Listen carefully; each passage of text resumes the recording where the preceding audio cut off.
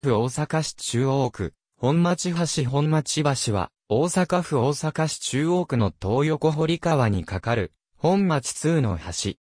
または、道京東詰付近の町名。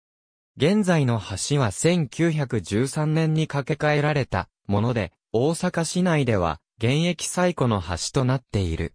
何話の那覇市50線に選定されている。最初の橋は、豊臣秀吉が大阪城を築城し、東横堀川を開削した時まで遡る。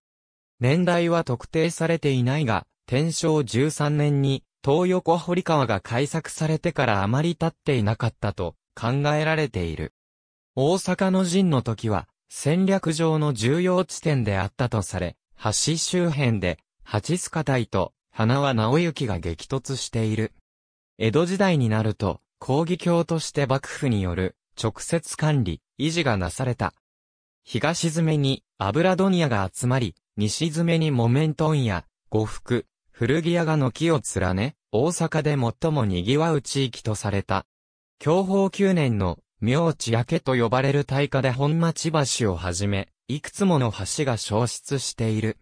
大火後、橋の北東側に西町奉行所が移転してきた。江戸時代の頃の東横堀川の幅は、現在よりも広く、本町橋も橋長が47.8メートルあったという。福音は最初7.8メートルで、江戸時代後期には5.9メートルと、幾分狭くなった。明治維新後、年代は特定されていないが、明治14年までに鉄柱を持つ木橋に架け替えられた。当時は、鉄橋は愚か、鉄柱木橋も貴重な存在であった。20世紀以降の大阪市電の敷設、都市計画事業による道路拡張に合わせて本町橋も大正2年に鉄橋に架け替えられた。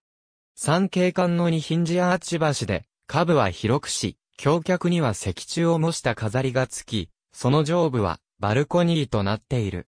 この橋は昭和57年に大掛かりな補修がされたが現役である。定番を持たない単独町名である。1989年に誕生した町名で、以前の内本町、橋詰町と文後町南部にあたる。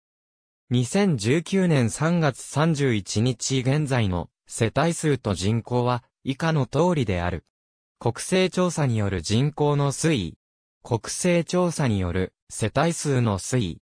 2016年現在の経済センサス調査による事業所数と従業員数は以下の通りである。